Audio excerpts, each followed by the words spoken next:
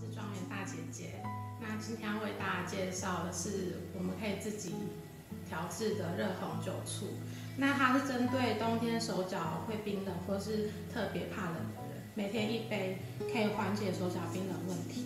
那这些是我们可以调制的，呃，莓果类的口味，百香果也可以，那它都可以混搭。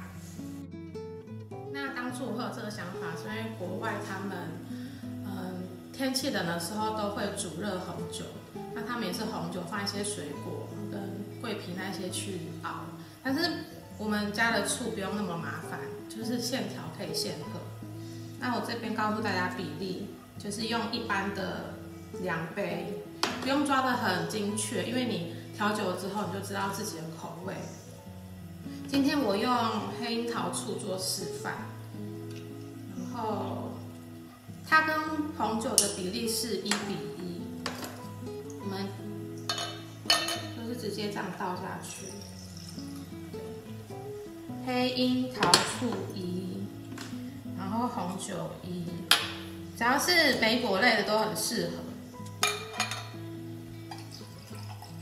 大概是这样。然后我们有准备好热水，这个是热水，因为嗯，这个倒进玻璃的呃这个量杯没关系，是因为它倒下去的时候已经没有那么烫，那热水就直接倒下去，大概也是一比一的比例。那这样的话就已经调好，那它的。